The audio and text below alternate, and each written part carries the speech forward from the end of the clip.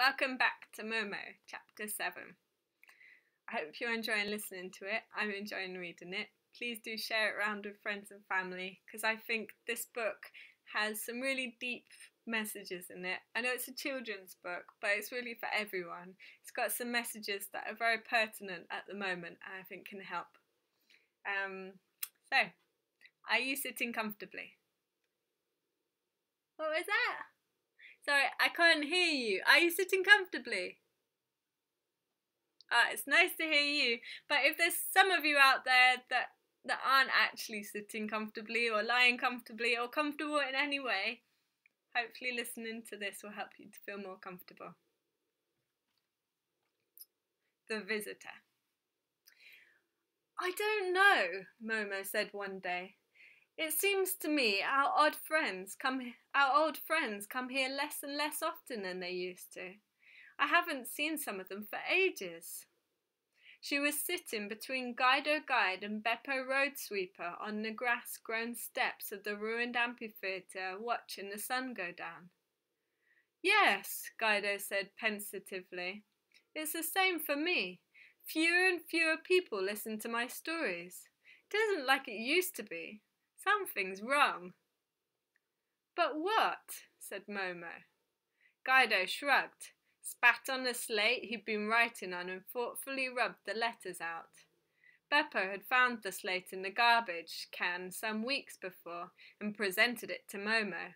It wasn't a new one, of course, and it had a big crack down the middle, but it was quite usable all the same. Guido had been teaching Momo her alphabet ever since. Momo had a very good memory, so she could already read quite well, though her writing was coming on more slowly. That was like me. More slowly. Beppo, who had been pondering Momo's question, nodded and said, You're right. It's closing in. It's the same all over the city. I've noticed it for quite a long time. Noticed what? said Momo. Beto, Beppo thought a while, then he said, Nothing good. There was another pause before he added, It's getting colder. Never mind, said Guido, putting his arm consolingly around Momo's shoulder. More and more children come here anyway. Exactly, said Beppo. That's just it. What do you mean? Momo asked. Beppo thought for a long time before replying. They don't come this for the sake of our company, he said. It's refuge they're after, that's all. They looked down at the stretch of grass in the middle of the amphitheatre, where a newly invented game was in progress. The children included several of Momo's old friends Paolo, the boy who wore glasses, Maria and her little sister Rosa, Massimo, the fat boy with the squeaky voice, and Franco, the lad who always looked rather ragged and unkempt. In addition to them, however, there were a number of children who had only been coming for the past days, and one small boy who had first appeared that morning. It looked as if Guido was right. Their numbers were increasing every day. Momo would have been delighted, except that most of the newcomers had no idea how to play. All they did was sit around, looking bored and sullen, and watching Momo and her friends. Sometimes they deliberately broke up the other children's games and spoiled everything. Squabbling and scuffling with frequent were frequent, though these never lasted long because Momo's presence had its usual effect on the newcomers too. So they soon started having bright ideas for themselves and joining in with goodwill.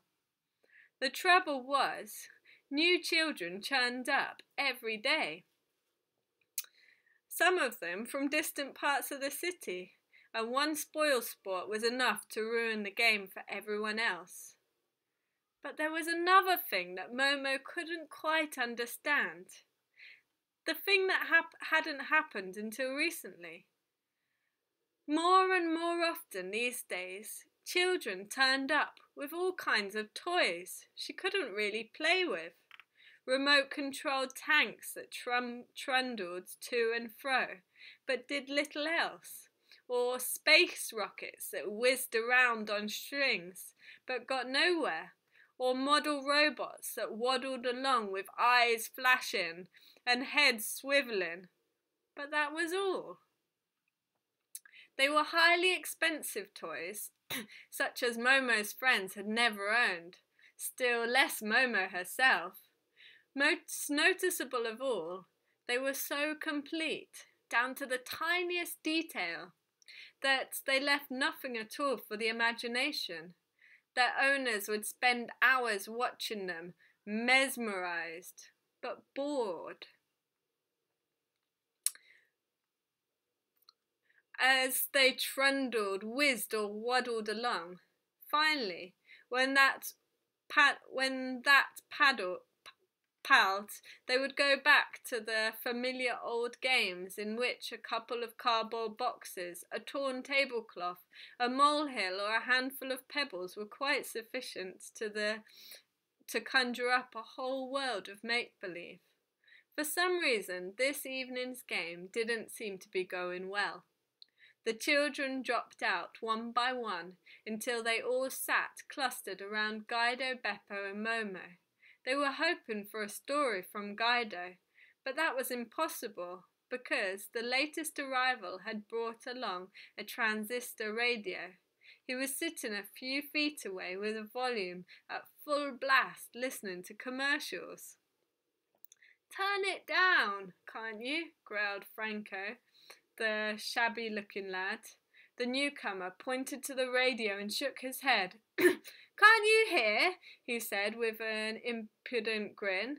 Turn it down, shouted Franco, rising to his feet. The newcomer paled a little but looked defiant. Nobody tells me what to do, he said. I can have my radio as loud as I like. He's right, said Beppo. We can't forbid him to make such a din. The most we can do is ask him not to. Franco sat down. Then he ought to go somewhere else, he grumbled. He's already ruined the whole afternoon. I expect he has his reason, Beppo said, studying the newcomer intently, but not unkindly, through his little steel rimmed glasses. He's sure to have. The newcomer said nothing, but moments later he turned his radio down and looked away. Momo went over and sat down quietly beside him. He switched off the radio altogether, and for a while all was still. Tell us a story, Guido, begged one of the recent arrivals. Oh, yes, do, the others chimed in. The funny one. No, no, an exciting one. No, no, no, no, a fairy tale Or an adventure story. But Guido, for the first time ever, wasn't in the mood for telling stories. At length he said, I'd far rather you told me something about yourselves and your homes, how you spend your time and why you come here. The children relapsed into silence. All of a sudden, they looked dejected and uncommunicative. We've got a nice new car, one of them said at last. On Saturday, when my mother and father have time, they wash it. Uh, if I've been good, I'm allowed to help. I want a car like that when I'm older. My parents let me go to the cinema every day if I like, said a little girl. They don't have time to look after me, you see, and it's cheaper than babysitting. That's why I sneak off here and save the money they give me for the cinema. When I've saved up enough, I'm going to buy an aeroplane ticket and go to see the Seven Dwarfs. Don't be silly, said another child. They don't exist. They do so, retorted the little girl. I've even seen pictures of them in the travel brochure. I've got eleven books on tape, said the little boy, so I can listen to them whenever I like. Once upon a time, my dad used to tell me stories when he came home from work. That was nice, but he's hardly ever home these days, and even when he is, he's too tired and doesn't feel like it. What about your mother, Maria? She's out all day. It's the same with us, said Maria. I'm lucky, though, having Rosa to keep me company. She, she hugged her little, the little girl on her lap and went on, When I get home from school, I heat up our supper. Then I do my homework, and then she shrugged her shoulders. Then we just hang around till it gets dark. We come here usually.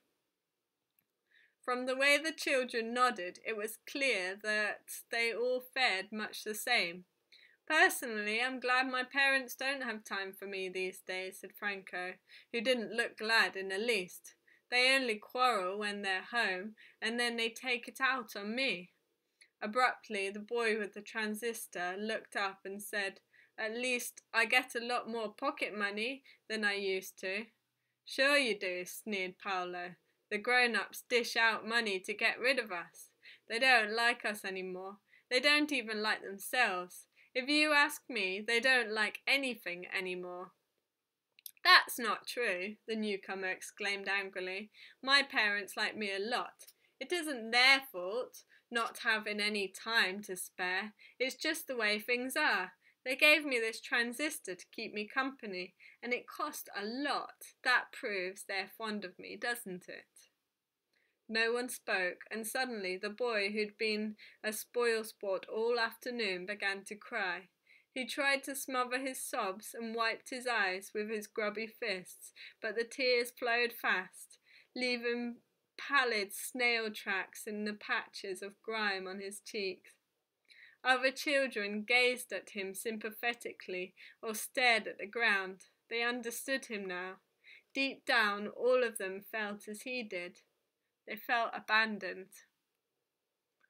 Yeah, old Beppo repeated after a while. Getting cold. I not, may not be able to come much longer, said Paolo, the boy with glasses. Momo looked surprised. Why not? My parents think you're a bunch of lazy, good for nothings, Paolo exclaimed. They say you fritter your time away. They say there are too many of your sort around. You've got so much time on your hands. Other people have to make do with less and less. That's what they say, and if I keep coming here, I'll end up just like you. Again, there were nods of agreement from the other children, who had been told much the same thing. Guido looked at, looked at each of them in turn. Is that what you think of us, too? he asked. If so, why don't you why do you keep on coming?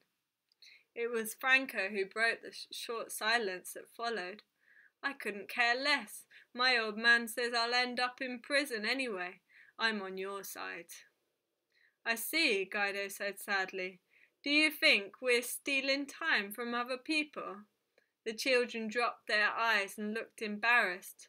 At length, gazing intently into Beppo's face, Paolo said, Our parents wouldn't lie to us, would they? In a low voice, he added, Aren't you time thieves, then? At that, the old road sweeper rose to his feet, but diminutive height solemnly raised his solemnly raised his right hand and declared, I have never stolen so much as a second of anyone any person's time, so help me God. Nor have I, said Momo. Nor I, said Guido earnestly. The children preserved an awed silence. If the three friends had given their solemn word, that was good enough. And while we're on the subject, Guido went on, let me tell you something else. Once upon a time, people used to like coming to see Momo because she listened to them and helped them to know their own minds. If you follow my meaning. Nowadays, they seldom stop to wonder what they think. They used to enjoy listening to me because my stories help them to forget their troubles, but they seldom bother with that either. They don't have time for such things. They say, But haven't you noticed something odd? It's strange. the things they don't have time for anymore. Guido surveyed the listening children with narrowed eyes and nodded before continuing. The other day, he said, I bumped into an old friend in town, a barber by the name of Figaro. We hadn't met for quite a while, and I hardly recognized him. He was so changed, so irritable and grumpy and depressed. He used to be cheerful type, always singing, always airing his ideas on every subject under the sun.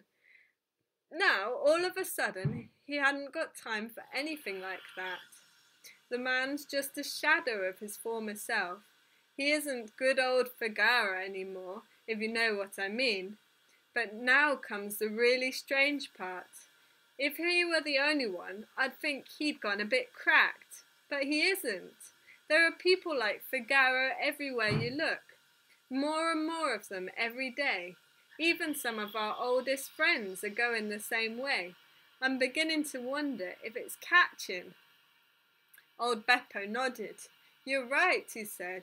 It must be. In that case, said Momo, looking dismayed, our friends need help. They spent a long time that evening debating what to do. Of the men in grey and their ceaseless activities, none of them yet had the faintest suspicion. Momo, who couldn't wait to ask her old friends what was wrong and why they'd stopped coming to see her, spent the next few days looking them up. The first person she called on was Salvatore, the bricklayer. She knew the house well. Salvatore lived in a little garret under the roof, under the roof, but he wasn't at home. According to the other tenants, he now worked on one of the big new housing developments on the far side of town and was earning a lot of money. He seldom came home at all these days. They said when he did, it was usually in the small hours. He'd taken to the bottle and was hard to get along with. Momo decided to wait for him just the same. So she sat down on the stairs outside the door. When it grew dark, she fell asleep. It must have been long past midnight when she was woken by the sound of unsteady footsteps and raucous singing. Salvatore came blundering upstairs, caught sight of Momo, and stopped short, looking dumbfounded. Momo! he said hoarsely, clearly embarrassed to be seen in his present condition. So you're still around, eh? What, what, what on earth are you doing here? Waiting to see you, Momo replied shyly. Uh, you're a fine one, I must say. Salvador smiled and shook his head. Fancy turning up to see your old pal, Salvador, in the middle of the night. I'd have paid you a visit myself ages ago, but I just don't have the time anymore. Not for, well, personal things.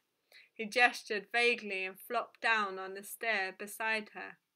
You've no idea the kind of life I lead these days. Things aren't the way they used to be. Times are changing. Over where I'm working now, everything's done in double quick time. We all work like fury. One whole floor a day.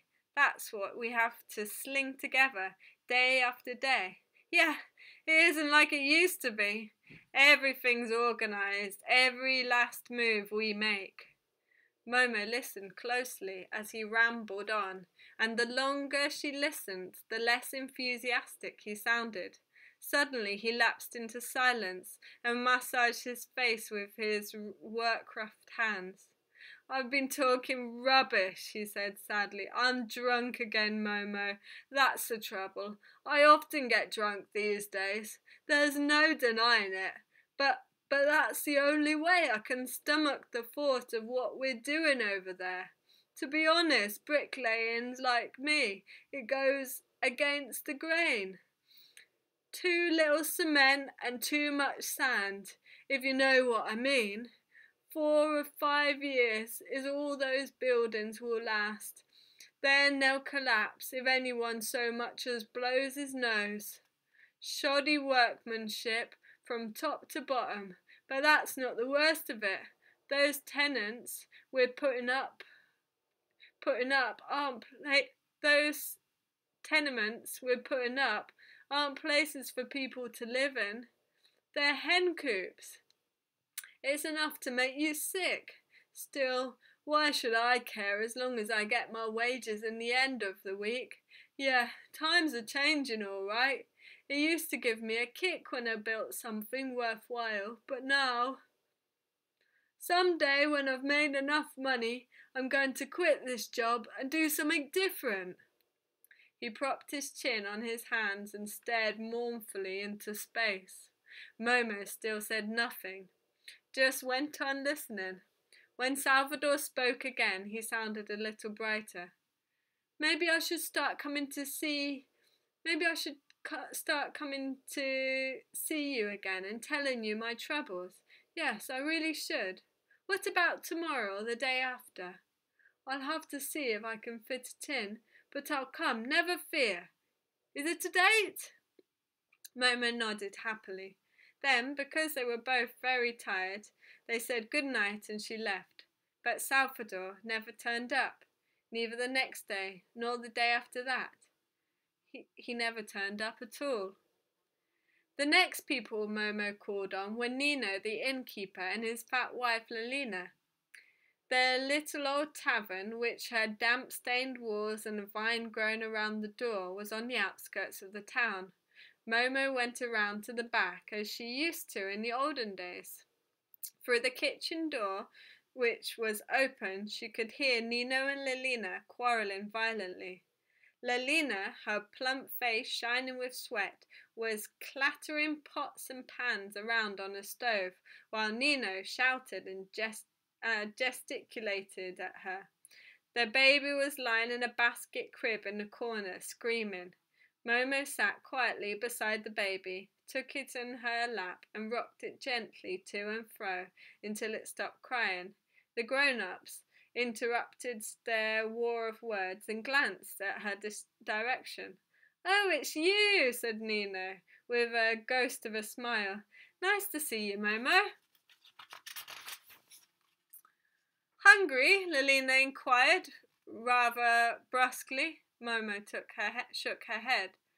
So what do you want? Nino demanded. He sounded grumpy. We're rather pressed for time just now.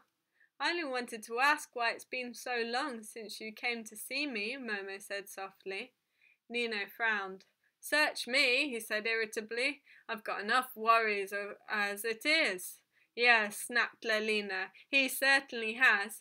Getting rid of our regular customers, that's all he worries about these days. Remember the old men who always used to sit at the corner table in the bar, Momo? Well, he sent them packing. He chucked them out. No, I didn't, Nino protested. I asked them quite politely to take their custom elsewhere. As landlord of this inn, I was perfectly within my rights. Your rights, your rights, Lelina said angrily. You simply cannot act that way. It, it's mean and cruel. You know they'll never find another inn as easy-going as ours. It wasn't as if they were disturbing anyone. There wasn't anyone to disturb, that's why, retorted Nino. No decent, well heeled customers would patronize this place while those stubble chinned old codgers were lolling about in the corner. Besides, they little enough profit in one measly glass of cheap red wine, which was all they could afford in an evening. We'll never get anywhere at this rate. Lelina shrugged. We've done all right so far. So far, maybe, Nino said fiercely. But you know yourself we can't go on like this. They've just raised our rent. I've got to pay 30% more than before, and everything's getting more expensive all the time. How am I going to find the money if I don't if I turn this place into a home for dawdling old down and outs? Why should I go easy on other people? No one's going easy on me. Lelina banged the saucepan down on the stove so hard that the lid rattled. Let me remind you something, she said, putting her hands on her mountainous hips. One of those doddering old down and outs, as you call them, is my uncle Enrico. I wouldn't have you insulting my relations. Enrico is a decent, respectable man, even if he doesn't have much money to splash around, like those well heeled customers you've set your heart on. But Enrico's free to come here any time, Nino said with a lordly gesture. I told him he could stay if he wanted, but he wouldn't. Without his cronies, of course he wouldn't. What did you expect him to do? Sit in the corner by himself? That settles it then, Nino shouted. In any case, I've no intention of ending my days in a small time as a small time innkeeper just for your Uncle Enrico's benefit. I want to get somewhere in life. Is that such a crime? I aim to make a success of this place, and not just for my own sake. I'm thinking about you and the baby as well, Lelina. Don't you understand? No, I don't. Lelina said sharply. It's being heartless is the only way you can if being heartless is the only way you can get somewhere in life, count me out. I warn you, sooner or later I'll pack up and leave you, so suit yourself. On that note, she took the baby from Momo. It had started crying again and flounced out of the kitchen. Nino said nothing for a long time. He lit a cigarette and twiddled it between his fingers while Momo sat watching him. As a matter of fact, he said eventually, they were nice old boys. I was fond of them myself. I feel bad about them, Momo. But what else could I do? Times have changed, you see. His voice trailed off, and it was a while before he went on. Maybe Lelina was right all along. Now that the old men don't come here any more, the atmosphere feels strange, cold, somehow. I don't even like the place any more. Honestly, I honestly don't know what to do for the best. Everyone acts the same way these days. So why should I be the odd one out? He hesitated. Or do you think I should? Momo gave an almost imperceptible nod. Nina caught her eye and nodded too. Then they both smiled. I'm glad you came, Nina said. I'd quite forgotten the way we always used to say, Why not go and see Momo? Well, I will come and see you again. I'll bring Lelina with me. The day after tomorrow is our day off. We'll turn up then, right? All right, said Momo, and went on her way but not before Nino had presented her with a big bag of apples and oranges. Sure enough, Nino and Lelina turned up two days later, complete with their baby and a basket full of goodies. Just imagine, Momo, said Lelina, beaming. Nino went to see Uncle Enrica and the other old men. He apologized to them one after another and asked them to come back. Nino smiled too and scratched his ear in some embarrassment. Yes, he said, and back they all came. I can say good-bye to my plans for the inn, but at least I like the place again. He chuckled, and Lelina said, We'll get by, Nino. It turned out to be a lovely afternoon, and before leaving they promised to come again soon. So Momo went the rounds to all her old friends. One by one she called on the carpenter who had made her little table and chairs out of packing cases, and on the woman who had brought her bedstead.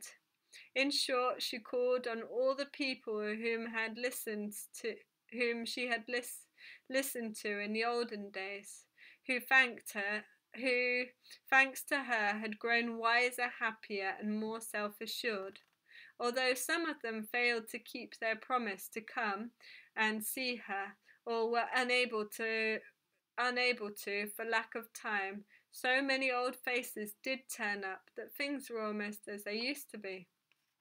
Not that Momo knew it. She was upsetting the plans of the men in grey, and that they couldn't tolerate. Soon afterwards, one exceptionally hot, sultry afternoon, Momo came across a doll on the steps of the old amphitheatre. It wasn't uncommon for children to forget all about their expensive toys they couldn't really play with and leave them behind by mistake, but Momo had no recollection of seeing such a doll, and she would certainly have noticed it because it was a very unusual one. Nearly as tall as Momo herself, the, doll, the doll was so lifelike that it might also have been mistaken for a miniature human being, though not a child or a baby. Its red mini, mini dress and high heel sandals made it look more like a shop window dummy or a stylish young woman about town. Momo stared at it, fascinated. After a while, she put out her hand and touched it. Instantly, the doll blinked a couple of times, opened its rosebud mouth, and said in a metallic voice that sounded as if it were issuing from a telephone, Hello, I'm Lola, the living doll. Momo jumped back in alarm. Then automatically she replied, Hello, I am Momo. The doll's lips moved again. I belong to you, it said. All the other kids envy you because I'm yours. You aren't mine, Momo said. Someone must have left you uh, here by mistake. She picked the doll up again. The lips moved. I'd like some nice things, said the metallic voice. Would you? Momo thought for a minute. I doubt if I've got anything you'd care for, but you're welcome to look. Still holding the doll, Momo clambered through the hole in the wall that led to her underground room. All her most treasured possessions were in the box beneath the bed. She pulled it out and lifted the lid. Here, she said, this is all I've got. If you'd like anything, just tell me. And she showed the doll a colourful bird's feather, a pebble with pretty streaks in it, a brass button, and a fragment of coloured glass. The doll said nothing, so so she nudged it. Hello, I'm Lola, the living doll. I know, said Momo, but you told me you wanted something. How about this lovely pink seashell? Would you like it?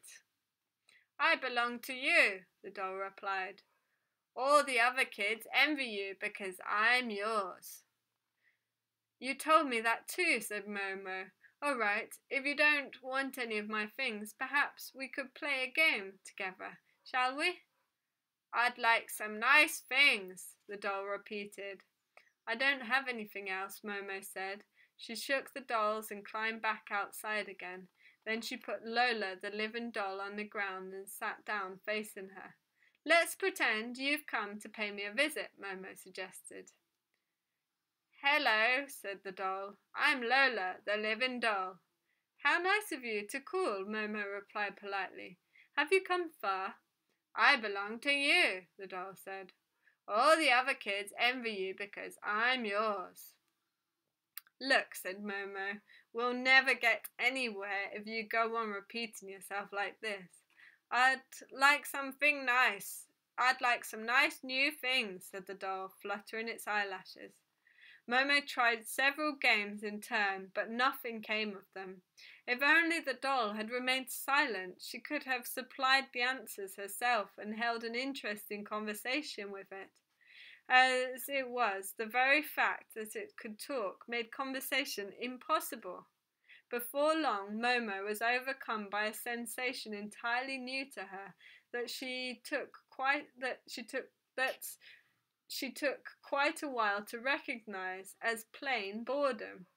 Although her inclination was to abandon Lola, the living doll, and play some other game, she couldn't, for some reason, tear herself away. So there she sat, gazing at the doll, and the doll with its glassy blue eyes fixed on hers gazed back. It was as if they had hypnotized each other. When at long last Momo did manage to drag her eyes away from the doll. She gave a little start of surprise. Parked close by, but not that she'd heard it drive up, stood a smart grey car. In it sat a man wearing a suit as grey as a spider's web, a stiff round bowler hat of the, of the same colour on his head. He was smoking a small grey cigar, and his face, too, was as grey as ashes. He must have been watching Momo for some time because he nodded and smiled at her, and although the day was so hot that the air was dancing in the sunlight, Momo suddenly began to shiver. The man opened the car door and came over carrying a grey steely briefcase. What a lovely doll you have there, he said in a particularly flat and expressionless voice.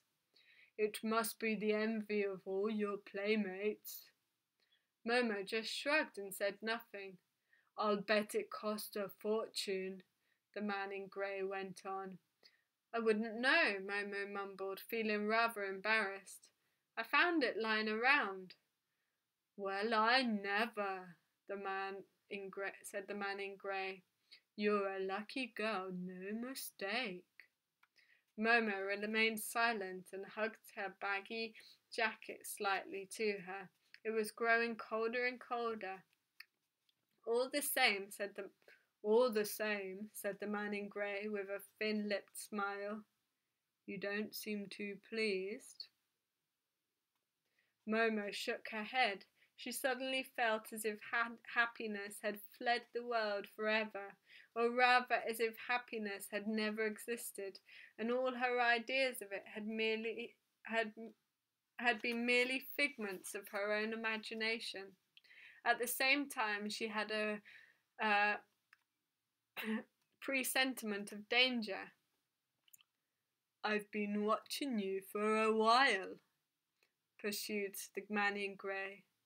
From what I've seen, you don't have the first idea how to play with such a marvellous doll. Shall I show you?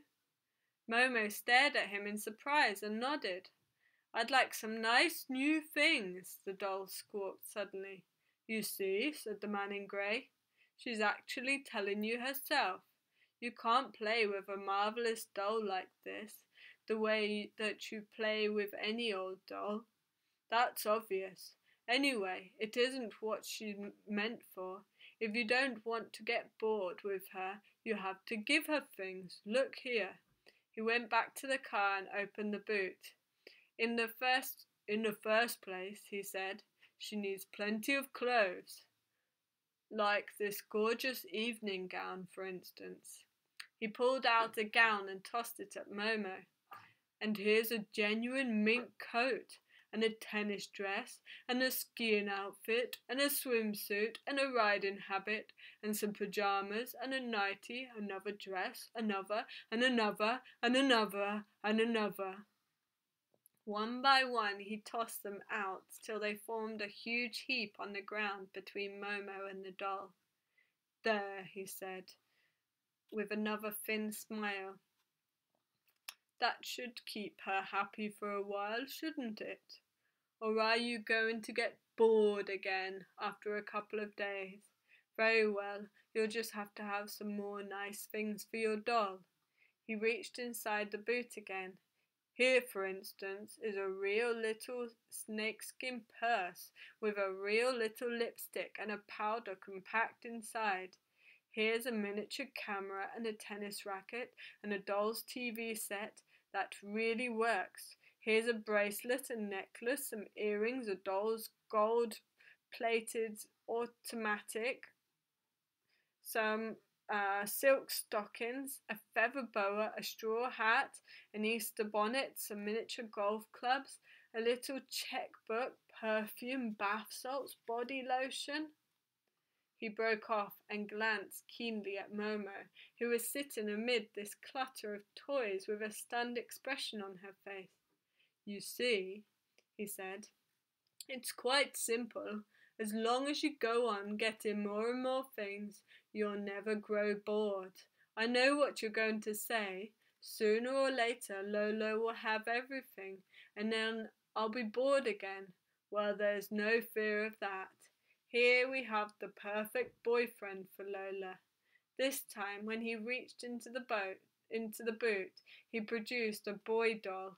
It was the same size as Lola and just as lifelike. Look, he said, it's a butch. He has any number of nice things too, and when you get bored with him, we can supply a girlfriend for Lola with masses of outfits that won't fit any anyone but her.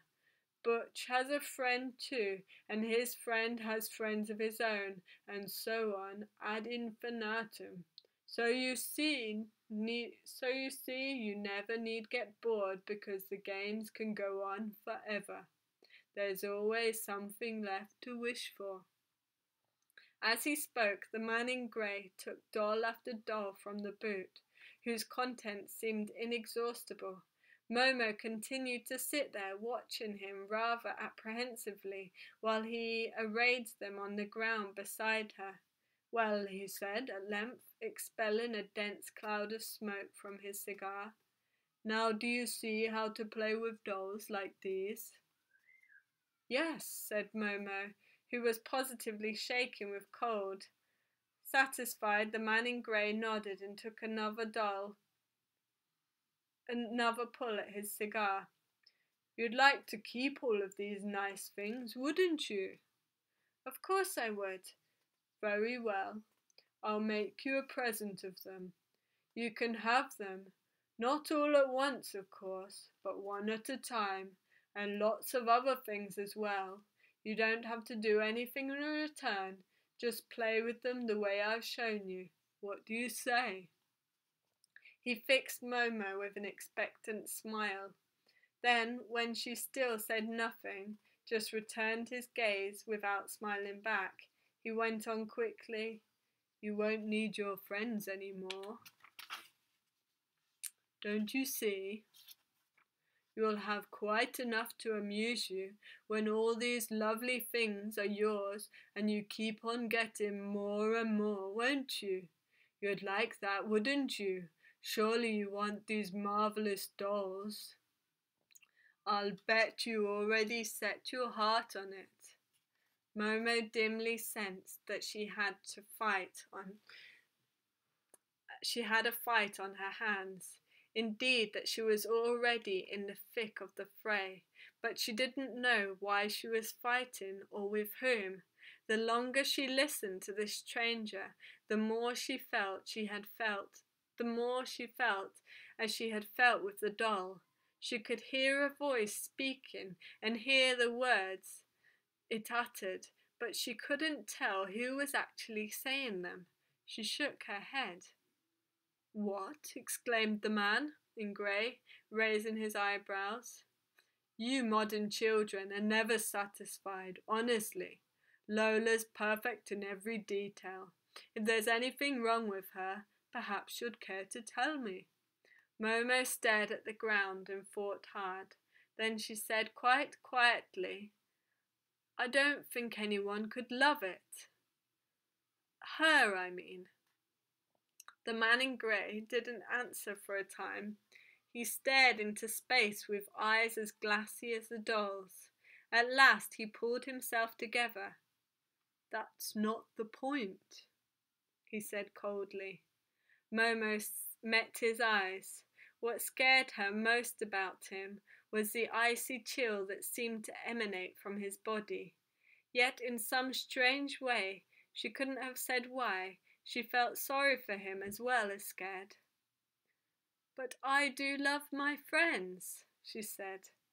The man in grey grimaced as if he'd bitten into a lemon, but he quickly recovered his uh, composure and, and gave her a razor sharp smile. Momo, he said smoothly, I think we should have a serious talk, you and I. It's time you learned what matters in life. He produced a little grey notebook from his pocket and leafed through it until he found what he was looking for. Your name is Momo, isn't it? Momo nodded. The man in grey shut his notebook with a snap and pocketed it again. Then, with a faint grunt of exertion, he sat himself down on the ground at Momo's side. He sat no more. He sat. He said no more for a while, just puffed thoughtfully at his small grey cigar. All right, Momo, he said at last. Listen carefully. Momo had been trying to do this all the time, but the man in grey was far harder to listen to than anyone she'd ever heard. She could understand what other people meant and what they were like by getting right inside them so to speak. But with him, This was quite impossible. Whenever she tried to read his thoughts, she seemed to plunge headlong into a dark chasm, as if there were nothing there at all. It had never happened to her before. All that mattered in life, all that matters in life, the man in grey went on, is to climb the ladder of success, amount to something, own something. When a person climbs higher and higher, than the rest, amounts to more, owns more things. Everything else comes automatically friendship, love, respect, everything. You tell me your love, you tell me you love your friends. Let's examine that statement quite objectively. He blew a few smoke rings. Momo tucked her feet under her skirt and burrowed deep into her oversized jacket. The first question to consider, pursued the man in grey, is how much your friends really gain from the fact of your existence. Are you any practical use to them? No. Do you help them to get on in the world, make more money, make something of their lives? No, again. Do you assist them in their efforts to save time? On the contrary, you distract them. You're a milestone around their necks, an obstacle to their progress. You may not realize it, Momo, but you harm your friends by simply being here. Without meaning to, you're really their enemy. Is that what you call love? Momo didn't know what to say. She'd never looked at things that way. She even wondered for one brief moment whether the man in grey might not be right after all. And that, he went on, is why we want to protect your friends from you. If you really love them, you'll help us. We have their interest at heart, so we want them to succeed in life. We can't just look on idly while you distract them from everything that matters. We want to make sure you leave them alone. That's why we're giving you all these lovely things. Momo's lips had begun to tremble. Who's we? she asked. The time saving bank, said the man in grey. I'm Agent BLW553C. I wish you no harm, personally speaking, but the Time Saving Bank isn't an organisation to be trifled with. Just then, Momo recalled what Beppo and Guido had said about time saving being infectious, and she had an awful suspicion that this stranger had something to do with the spread of the epidemic. She wished from the bottom of her heart that her friends were with her now. She had never felt so alone, but she was determined not to let fear get the better of her.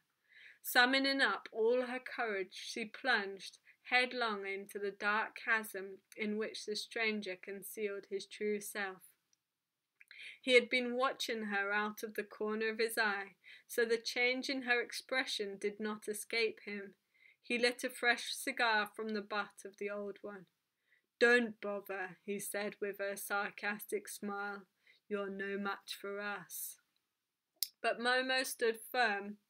Isn't there anyone who loves you? she whispered. The man in grey, grey squirmed a little. I must say, he replied in his greyish voice, I've never met anyone like you before. Truly, I haven't and I've met a lot of people in my time. If there were many more like you around, we'd have nothing left to live on. We'd have to close down the time saving bank and dissolve into thin air. He broke off, staring at Momo, as if she were something he could neither understand nor cope with. His face turned a shade greyer, when next he spoke, it was as if he were doing it against his will, as if the words were pouring forth despite him. At the same time, his face became more and more convulsed with horror at what was happening to him. At long last, Momo heard his real voice, which seemed to come from infinitely far away. We have to remain unrecognized, he blurted out. No one must know of our existence or our activities. We make sure no one ever remembers us because we can only carry on our business if we pass on unnoticed. It's a wearisome business, too, bleeding people of their time by the hour, minute, and second. All the time they save, they lose to us. We drain it off, we hoard it, we thirst for it. The human beings have no conception of the value of their time, but we do. We suck them dry. We need more and more time every day because there are more and more of us. More and more and more. The last few words were uttered in a sort of death rattle. The man in grey clapped his hands over his mouth and stared at Momo with his eyes bulging. Little by little, he seemed to emerge from a kind of trance. What happened? he stammered. You've been spying on me. I'm ill. It's all your fault. His tone became almost imploring. I've been talking nonsense, Momo. Forget it. Forget like me. Forget like everyone else. You must, you must. He grabbed hold of Momo and shook her. Her lips moved, but she couldn't get a word out. The man in grey jumped to his feet. He peered in all directions like a cornered beast, then snatched up his briefcase and um, sprinted to the car. The next moment, something very strange happened. Like an explosion in reverse, all the dolls and their scattered belongings flew back into the boot, which slammed shut. The car roared off at such a speed that grit and pebbles spurted from its wheels. Momo sat there for a long time, trying to make sense of what she had heard. As the dreadful chill seeped slowly through her limbs, so her thoughts became steadily clearer. Now that she had heard the real voice of the man in grey, she could remember everything. From the sun baked grass in front of her rose a slender thread of smoke. The trampled butt of a small grey cigar was smouldering away to ashes. It's all quite scary at the moment. That's the end of chapter 7. Join me again for chapter 8. I think it's got some really good messages in it. Hope you're enjoying. Loads of love to you, and remember, keep connected. It will help us through these difficult times. Yes.